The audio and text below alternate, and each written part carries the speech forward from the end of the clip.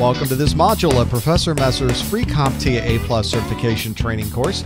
I'm James Messer, and in this module, we're going to talk about optimizing and upgrading your laptops and portable devices. I'm going to step you through quite a bit in this module where we're going to discuss things from our requirements of 220 601 exam. This is our essentials exam, section 2.2, where we need to install, configure, optimize, and upgrade laptops and portable devices. Interestingly enough, it's exactly the same words that are used in the 220 602 requirements for the technician exam, and it's even the same section number. It's just the technician exam tends to go into more detail about these. So we're going to also provide you with a lot of detail here, not only in power type issues like ACPI, but we're going to talk about what you should think about when you're removing hardware, installing memory, PCI cards, and portable hard drives inside of these devices. And I'm going to step you through doing all of that in this module. Let's first talk about ACPI. This stands for the Advanced Configuration and Power Interface Standard. And this is an open standard in the industry. Almost everybody is using this, regardless of operating systems, regardless of the hardware that happens to be in use, because it's an extremely functional standard that allows you first to manage the power that's being used in your devices, whether they're portable or otherwise. Also gives you specific configuration functionality in being able to manage this for the power interfaces and some of the advanced configurations. You don't usually see this on personal digital assistants. This is something that's generally used on laptops and used on desktops, but very rarely on these very customized handheld devices. Let's talk about the ACPI standard as it applies to standby, suspend, and hibernate. These are terms that you're going to hear a lot, especially as you work with laptops. First, let's talk about standby, something called power on standby, which means that we're going to put this system into a standby mode. It's not going to be operational. This is something you do, you're ready to leave work, but you need to be able to start up quickly when you get home. You close your laptop up or you tell your laptop to go into standby mode.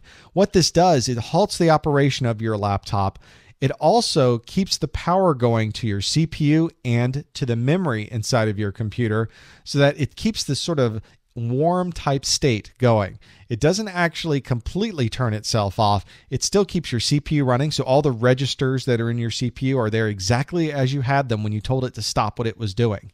If you go into something called a suspend mode, it's a little bit different.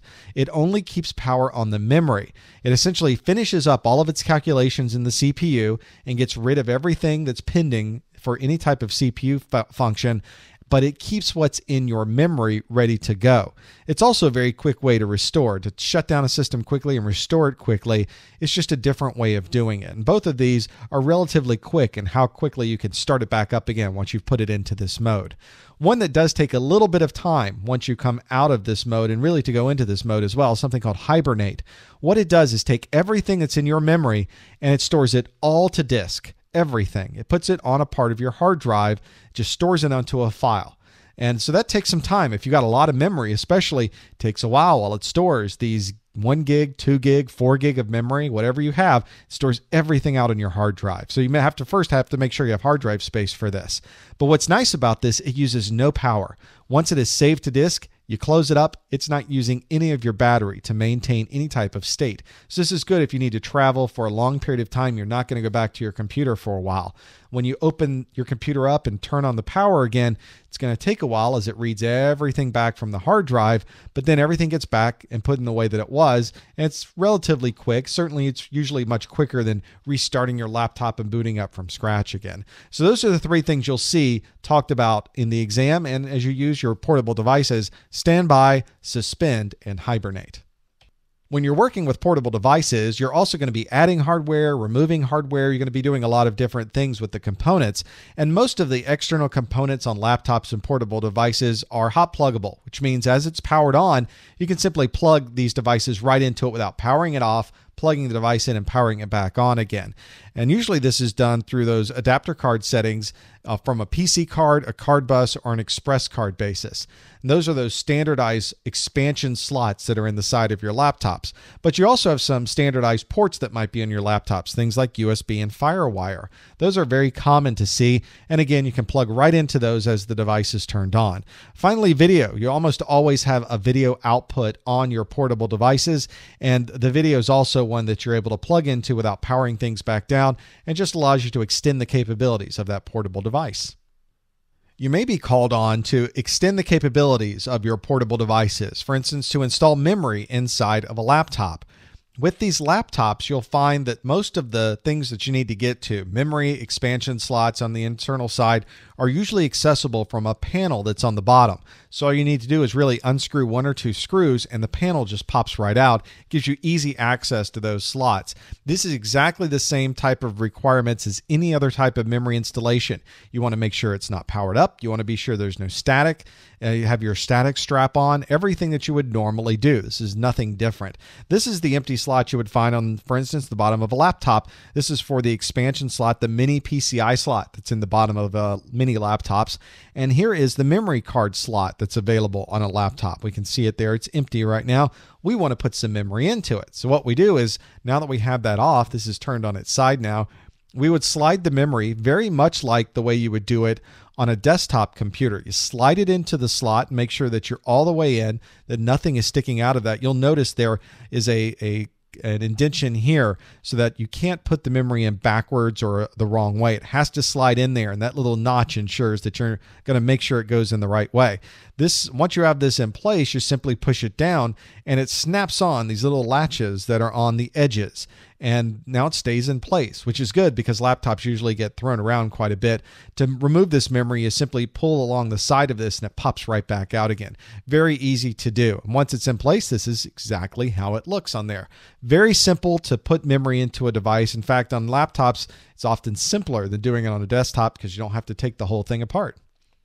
Installing mini PCI adapters is almost exactly the same situation. It's usually behind a panel, and you can see here we've got an empty mini PCI slot. Let's say that we'd like to add wireless capabilities to this laptop. It's already designed for wireless. There's even the adapt the um, the uh, an antenna wires that are ready to go. And those wires run all the way up into the top of the laptop, into the screen itself.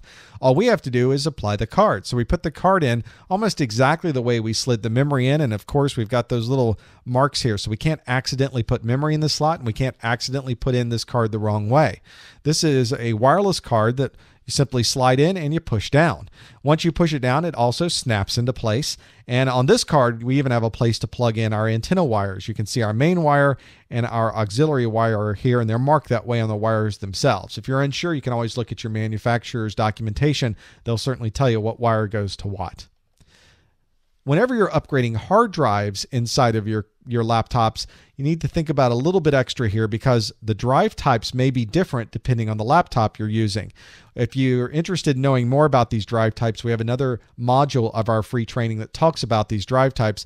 Inside of a laptop, it's the same drive type, they're just smaller drives. There's an ATA or an Ultra ATA type. There is a SATA drive that might run at 1.5 gigabit and a SATA drive format at 3.0 gigabit. They're just a form factor that fits inside of laptops. The hard drives usually accessible on the side. It usually pops right out. Often you you'll find really technical people might have multiple hard drives and they just slide them in and out depending on what they'd like to do. If a hard drive is accessible easily on the side that simply slides in and out of the side of the computer, becomes very easy to, to replace. You pull it out, you put the new one in, slide it back onto the laptop. I wanted to give you an example of doing one that is a little bit more difficult. It's actually underneath this bottom panel of this laptop that's here. Uh, before you do anything with changing out a hard drive, with changing out memory or anything else, you want to make sure to remove that battery and any type of power connection. So this is exactly like doing it on a desktop system. Once we have removed the battery, we can unscrew all of the screws here on the bottom that will release this bottom panel. Once we remove that panel, we have access to everything that's on the inside of this laptop. You can see there's a lot here there is a, a video card that's got a heatsink going right to it, probably because that video card gets very warm. Here's the memory that we've got, two memory modules inside of there. There's an existing hard drive already in this laptop, and there's even a number of wireless and mobile expansion cards inside of the system. What we want to do is add a new hard drive into this second hard drive bay that's inside of this laptop. It's exactly the same as the one that's in the other drive bay. And what we usually get from the laptop manufacturers is a specialized hard drive carriage just for that laptop. So almost every laptop has one of these. You very rarely find one that you simply plug in the normal hard drive without anything that goes around it. This is a SATA drive that's going to plug into this carrier, and you can see they even include the screws that you're going to need. So your first step is to actually fasten the drive onto the carrier. Really, it can only go in one way. It's very, very easy to see the way that would work. And we can see that now that we're screwed those in, we've got the extra screws that are going to put it right onto the system itself. So We've got this open drive bay. All we're going to do is simply, in this case, lay the drive right on top of it. It, it snaps on or fits on to that card. And then we've got these four screw points that we're going to want to add the screws to inside of our system. And once those are screwed in, we can put our back panel back on and start the system back up again. So the process is very simple to go back and forth. We add our our battery back into this, and now we've got a new drive in the system. It's not very complicated at all. You do want to be careful when working inside of these laptops. You keep track of all the screws, but generally, that's the hardest thing you'd ever have to worry about when replacing memory, when doing anything with the expansion P- mini PCI slots, or anything with the hard drives inside of these laptop systems. In review, we've looked at our advanced uh, configuration and power interface inside of our portable devices, and we've talked about removing and replacing hardware, specifically the memory, the mini PCI adapter cards, and finally, we looked at how to upgrade and replace a portable hard drive inside of our laptops. For more free videos, to participate in our message boards, and much more, you can visit our website, freeaplus.com.